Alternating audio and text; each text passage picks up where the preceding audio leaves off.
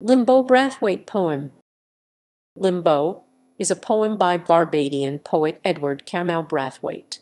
It describes the similarity between a limbo dance and the transportation of African slaves into the West Indies and America. Equals equals References equals equals